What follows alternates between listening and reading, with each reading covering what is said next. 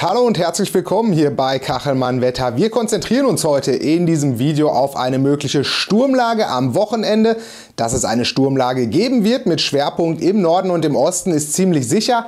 Wie hoch genau die Windgeschwindigkeiten ausfallen, ist natürlich noch ein bisschen unterschiedlich in den Wettermodellen. Wir schauen uns das gleich mal an. Heute erreicht uns ja schon eine erste eher schwach ausgeprägte Kaltfront, die von Norden hereinzieht und dann in der Nacht auf Freitag auch den Süden von Deutschland erreichen wird.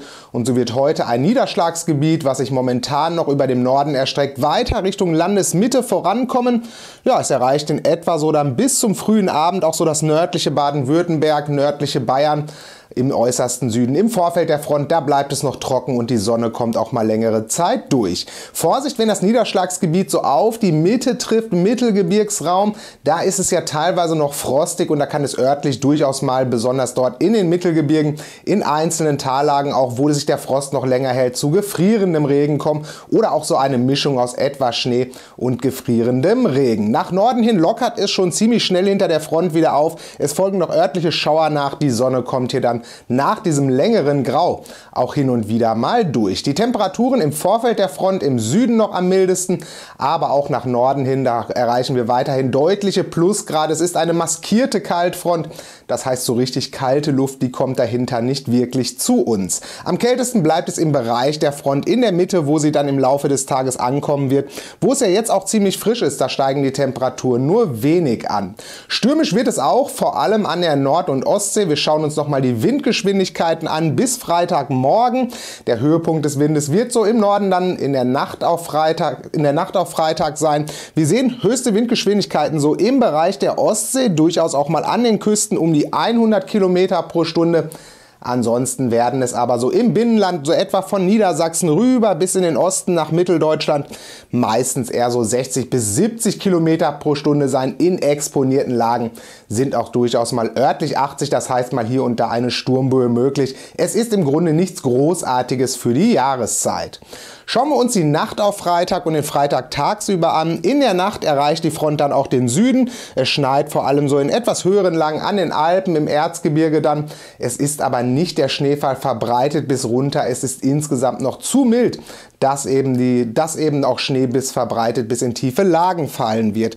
Ansonsten rückseitig der Front wird es dann schon häufiger trocken werden. Wie gesagt, über den Wind hatten wir schon gesprochen. Es bleibt meistens frostfrei. Auch im Süden wird eben diese Inversionswetterlage mit dem Frost in den Niederungen eher abgeräumt. Das heißt, die Temperaturen steigen hier eher an im Vergleich zu den vergangenen Nächten wo es ja im Süden und in der Mitte häufig frostig war.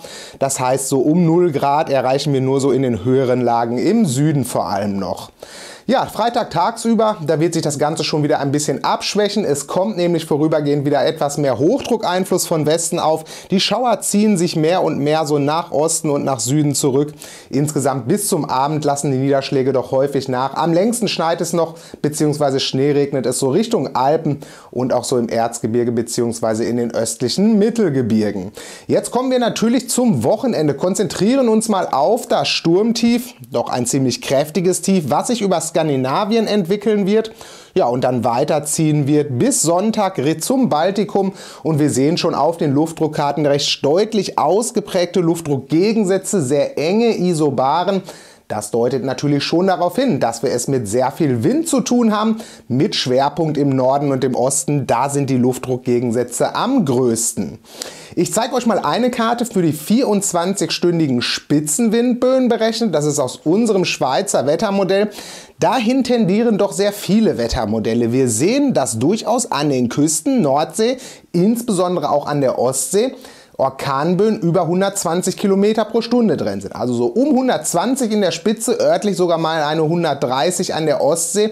Das ist so, was von den meisten Wettermodellen berechnet wird und das so im Binnenland etwa von Niedersachsen, Schleswig-Holstein rüber so bis in den Osten nach Brandenburg, Berlin und nach Sachsen, dass dort eben auch mal im Binnenland durchaus eben so um die 90 Kilometer pro Stunde auftreten können, örtlich auch mehr. Ich zeige euch jetzt mal das US-Wettermodell von heute Morgen Morgen für Sonntagmorgen. Das hat nämlich nochmal eine recht scharfe Welle hinterherkommen, das in der Nacht auf Sonntag und Sonntagmorgen eben durchaus, wir sehen es recht flächig, so im Nordosten, im großen Nordosten und Osten auch über 100 Kilometer pro Stunde auftreten können. Es sind im Nordosten vor allem hier teilweise Brandenburg, Berlin, nördliches Brandenburg, Berlin, Mecklenburg-Vorpommern, auch sogar Orkanböen drin. Also hier sind mal über 120 Kilometer pro Stunde auch abseits der Küsten drin.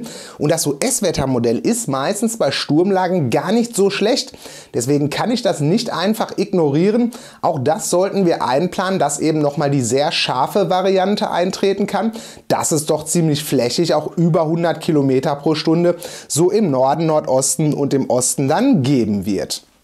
Ich habe einfach mal was zusammengebaut. Das ist so in etwa der momentane Stand und wir sehen es, dass vor allem ja, an der Nordseeküste auch Orkanböen drin sind. Hier auflandig mit dem Nordwestwind an den Küsten dann direkt. Ganz speziell aber wohl schwerpunktmäßig so an der Ostseeküste, da wo auflandig der Nordwestwind weht dann.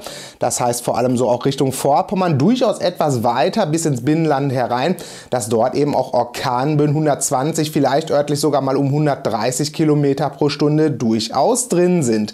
Dann gibt es diesen Streifen, wo es eben vor allem Richtung Binnenland noch ein bisschen fraglich ist, diesen roten großen Streifen im Norden und im Osten. Auch dort sollten wir mal einzelne Böen um die 100 Kilometer pro Stunde einplanen. Wie gesagt, wenn das US-Wettermodell eintrifft, dann könnten wir sogar recht flächig über 100 Kilometer pro Stunde erreichen. Es ist einfach so, wir haben jetzt heute eben erst Donnerstag. Das würde ja erst so die Nacht auf Sonntag bzw. Sonntagmorgen betreffen. Da gehen eben noch mal ein paar Modellberechnungen ins Land bis dahin. Das wird sich in den nächsten Tagen dann aber jetzt konkretisieren und wir halten euch hier natürlich auch auf dem Laufenden, was die weiteren Modellberechnungen sagen. Ihr könnt übrigens, ihr müsst nicht unbedingt auf ein neues Video warten, sondern könnt das Ganze auch einfach in den Wettermodellkarten selber nachschauen. Es kommen ja von vielen Wettermodellen alle sechs Stunden neue Berechnungen und ich verlinke euch hier oben einfach mal direkt den Link zu den Windböenkarten. Da gibt es oben so blaue Button, da gibt es die verschiedensten Wettermodelle. Da kommen in den nächsten Tagen auch noch mehrere dazu, mehrere hoch aufgelöste Wettermodelle. Da kann man einfach mal so vergleichen, was laufend neu berechnet wird. Wie gesagt, Update der Modelle, so alle sechs Stunden, einige alle zwölf Stunden werden die neu berechnet. Schaut einfach mal nach, Link findet ihr bei YouTube hier oben in den Infokarten.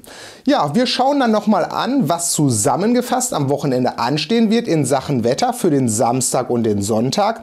Wir sehen, am Samstag wird erstmal so am Morgen und am Vormittag ein Niederschlagsgebiet, meistens als Regen, über den Norden und den Osten hinweg schwenken. Rückseitig wird es doch erstmal wieder trocken werden. Es folgen dann später aber wieder einige Schauer nach. So nach je weiter man im Westen, Südwesten und Süden ist, desto weniger Niederschlag wird wohl ankommen, desto weiter ist man hier einfach von dem Tief weg.